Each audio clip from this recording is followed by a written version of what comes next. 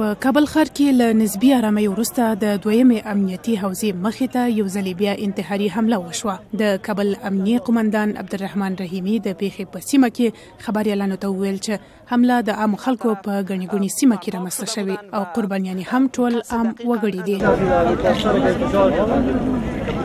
دا حمله د څلور نیمو بجو په شاوخوا کې د مرادخاني په سیمه کې د دویمې امنیتي حوزې دروازه ته نږدې رامنځته شوه نږدې یوه میاشت مخکې یعنی د تیرې کپ میاشتې په ومه نیټه د ایران سفارت ته څیرمه د ترکیې سفارت پر کارکونکو هم حمله شوې و چې دوه کسان پکې وژل شوي وو په کابل کې وروستۍ حمله په داسې وخت کې وشوه چې ملکی مامورین او خلک کورونو ته د ستنېدو په حال کې وو په عین حال کې یو شمېر عیني شاهدانو ازادي راډیو ته وویل چې شاوخوا پنځلس عام خلک یې لیدلي چې وژل شوي او یا هم ټپیان دي. نان و پای نبود، چی نبود هر طرف زخمی شهید. یگانه چیزی که من دیدم مرده ها و زخمی ها بودند که به دستای خودم بالا کردیم اما تعدادشان بیشتر بود بیشتر از ده ها و بیشتر از 15 تن و یا هم بیشتر از 17 تن بوده باشه دولتی پکې څوک نه ول څه چې ول ټول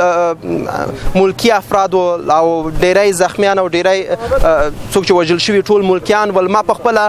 کوم نظامی کوم دولتي کسونه لید پکې د په پلازمینه کابل کې د 1990 کال ل پیلې دوره هیڅ لمړی حمله وچه تر سره کیږي خو تر اوسه چا د دې پیښې مسولیت نه دی اخیستی عام خلک له امنیتي ارګانونو غواړي چې خپل کشفي فعالیتونه پیوړي او د دې حملو مخنیوي وکړي